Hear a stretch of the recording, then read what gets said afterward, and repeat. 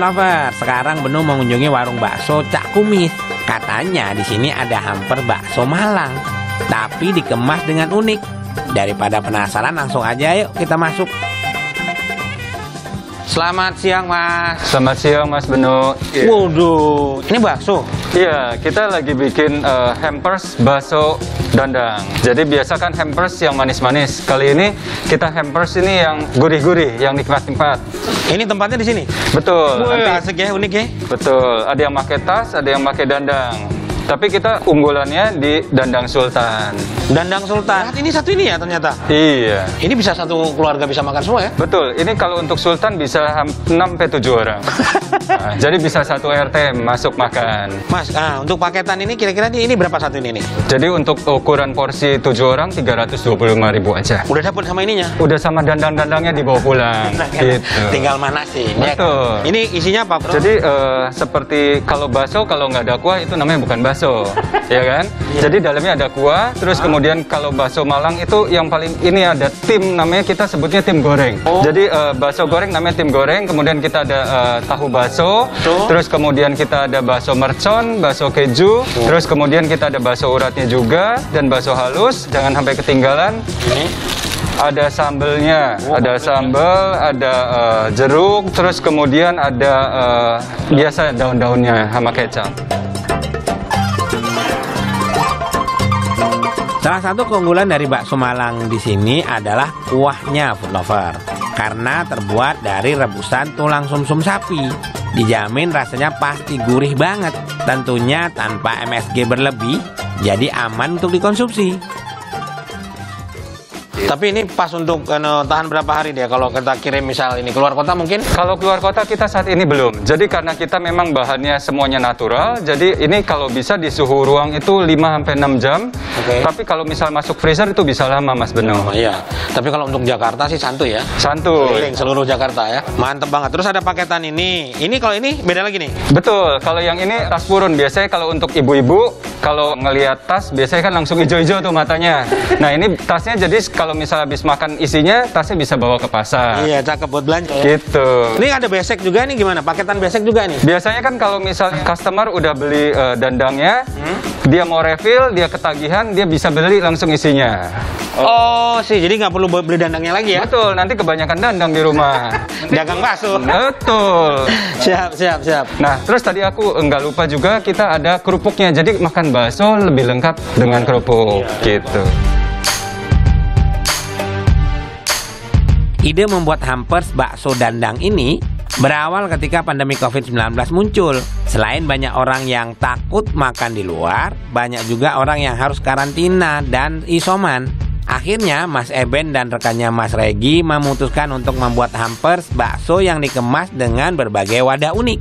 Salah satunya ya ini food lover, hampers bakso Malang dalam dandang. Wah, mumtaz. Karena pasarnya bagus, mulailah bermunculan permintaan hampers dandang untuk acara-acara spesial dan hari besar.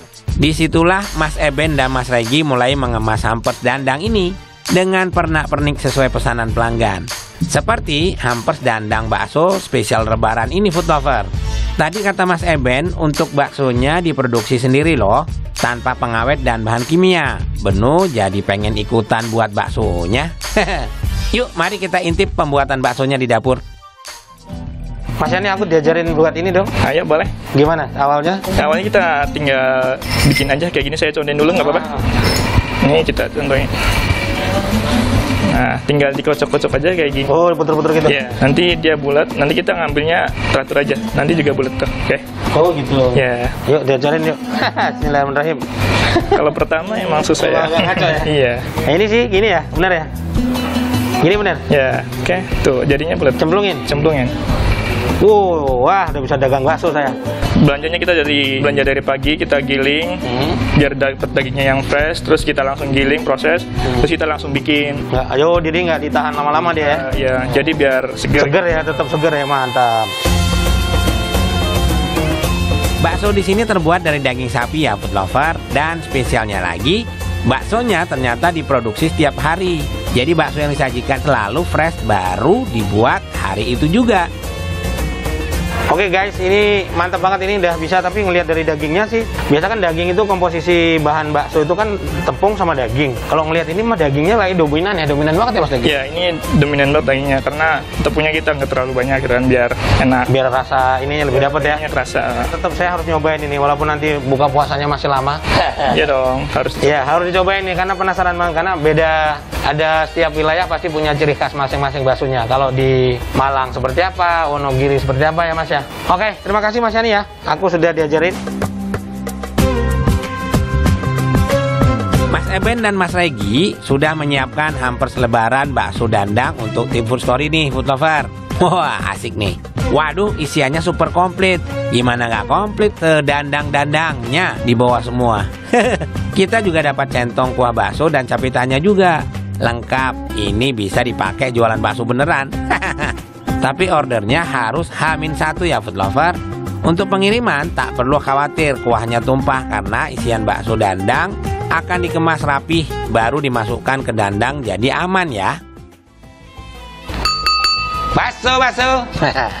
Kita makan bakso, ya kan? Ini bakso yang jadi hampers. Ini yang punya ide ini kreatif ya. Kenapa? Bener sih baru pertama nih ngeliat ada bakso jadiin ini ya, jadiin hampers segede ini bisa dimakan sekeluarga. Kata kata masnya tadi CRT. Oke, kita cobain ya. Ini bakso goreng. Kalau di apa? Kalau di Malang nyebutnya patin. Terus ada mie kuning. Wow. Oke, tahunya dulu. Tahu bakso, pangsit goreng, masuk semua. Ini Benu ngambilnya sukanya bihun. Wow, banyak nih. Nggak apa-apa. Nah, ini baru kita kuahin ya. Wush, cakep banget ini. Ini kalau Masnya bilang tadi punya sultan ya. Kalau makan segini sultan beneran ini. Wush, kelihatan nggak guys? Wow, cakep. Ah, oke. Cukup ya. Kita kita racik. Nah, ini ada bawang goreng, saledri, daun bawang, bawang goreng nih. Nah, ini dia nih. Kalau mau sambal silakan pedes banget guys. Kalau mau nambah kesegaran ini ada jeruk ya. Kalau ngelihat jeruknya sih kayak jeruk kunci ya nih karena warnanya kuning. Kalau warnanya hijau dia nyebutnya jeruk limau. Ya ini baksonya nih ada pilihannya. Urat nah ini halus.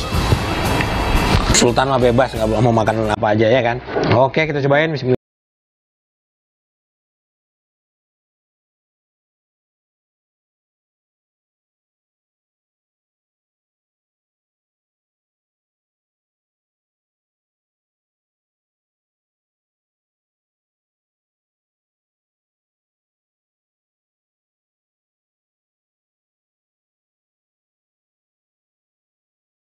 Wah, sadepnya ini enak banget ya. Kuahnya seger. Nah ini dia. Ini kuahnya itu biasa di karakter kalau yang Solo itu karakternya beda sama yang di Malang ya. Kalau Malang itu penggunaan apa? Ada lemaknya, tapi lemaknya lemak pilihan gitu ya. Kayak kuahnya agak oily tapi lebih bening ya. Cakep banget. Wow, enak tenan nih. Hmm. Jadi kalau komposisi bakso itu kebanyakan tepung, ya udah, nggak udah udah nggak kena itu. Tapi ini kebanyakan daging, jadi enak banget ini parah. Mumtaz. How cek?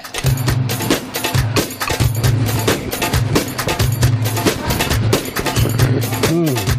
Udah berasa kayak kita terbang ke Malang ya, makan bakso di sana. Tapi jangan jauh-jauh, di sini juga ada. Kalau belum sempet ke sana, sini aja dulu. Nah, tapi kalau ngomongin soal baksonya, ini sama persis kayak yang di sana. Memang resep warisan ya, dipraktekkan di sini, luar biasa. Momtas. Hmm. Tahu bakso. Hmm. Kalau bakso Malang itu memang kuahnya tuh light ya, enak banget. Jadi ringan gitu, tapi tetap kaldunya tetap berasa. Baksonya juga pecah banget rasanya enak banget. Food lover wajib coba nih. Lebaran lagi bingung mau ke mana ya, mau makan apa ya? Ada nggak ya? Ada nih ada satu paket ini. Bakso apa? Tuh, bakso cak kumis.